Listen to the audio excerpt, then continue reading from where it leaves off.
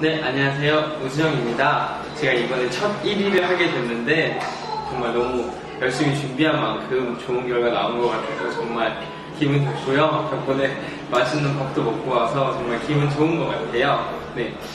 1위한 영상은 항상 올라가니까 앞으로도 저 항상 열심히 해갖고 계속 1위에서 여러분들한테 좋은 모습 많이 많이 보여줄 수 있도록 노력하겠습니다.